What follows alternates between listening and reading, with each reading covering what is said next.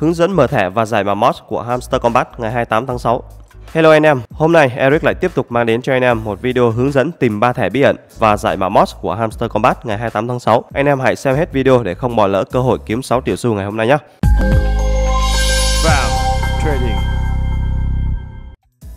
Đầu tiên chúng ta sẽ đi tìm 3 thẻ bí ẩn để kiếm thêm 5 triệu xu. Đây là 3 thẻ bí ẩn của chúng ta ngày hôm nay. Bây giờ Eric sẽ hướng dẫn anh em đi kiếm từng thẻ một. Thẻ đầu tiên là thẻ License Philippines. Thẻ này nằm ở trong mục Legal. Đây là thẻ mới nên anh em lướt xuống phía dưới cùng của mục này để tìm thẻ nhá. Nó đây rồi, mình tốn 150.000 xu để mở thẻ này. Hai thẻ còn lại là Short Squeeze và Long Squeeze sẽ nằm ở trong mục Special. Mục này có 2 phần chính là thẻ của tôi và thẻ mới. Anh em tìm ở trong phần thẻ của tôi trước, không có thì chuyển sang mục thẻ mới để tìm. Mình đã mở hai thẻ này rồi nên nó sẽ nằm ở trong mục thẻ của tôi. Lướt xuống một chút, chúng đây rồi. Hai thẻ này thì nằm sát nhau luôn. Mình sẽ mở thẻ Short Squeeze trước. Thẻ này thì mình tốn hơn 834.000 xu. Thẻ tiếp theo là Long Squeeze.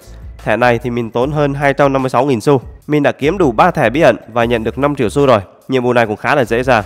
Tuy nhiên có một số thẻ thì không yêu cầu điều kiện mở, nhưng có một số thẻ lại yêu cầu các điều kiện như là nâng cấp các thẻ khác đến level quy định hoặc mời bạn bè tham gia. Thẻ nào của anh em bị khóa thì anh em hãy để ý đến mục dưới này. Đây sẽ là điều kiện để anh em cần phải làm để mở thẻ. Ví dụ như là để mở khóa thẻ Dubai Office thì anh em cần nâng cấp thẻ License UAE lên level 15 hay thẻ Long Squid thì anh em cần phải mời 9 người bạn. Nếu thẻ bí ẩn rơi vào những thẻ bị khóa thì anh em hãy check điều kiện của thẻ xem có thể mở thẻ đó hay không. Xong phần mở thẻ này rồi, hãy cùng Eric sang phần giải mã mod nhé. Nhiệm vụ tiếp theo là nhiệm vụ giải mã mod. Nhiệm vụ này cũng khá đơn giản. Mỗi ngày Hamster Combat sẽ cho anh em một từ khóa để anh em gõ vào. Gõ đúng thì sẽ nhận được một triệu xu. Đây là bảng mã mod.